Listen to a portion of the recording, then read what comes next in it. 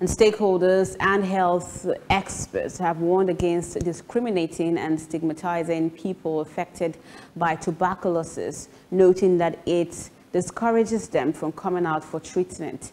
They made this known during an awareness walk and a free testing of tuberculosis in Lagos.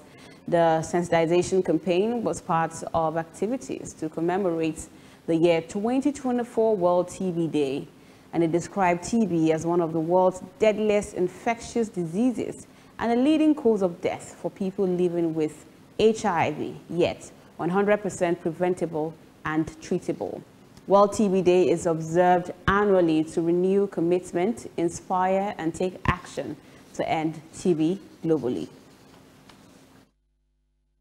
Our people and let them know what TB is an infectious uh, disease that affects the lungs and it can be spread. For, because of this, all we need to do is to do enough sensitization so that people will come out.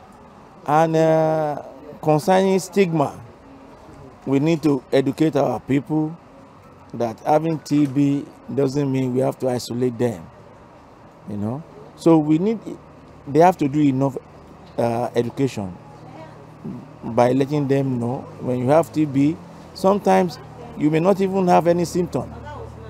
But if we adequately uh, go for medical checkup, we will be told when we have TB and the treatment will be done accordingly.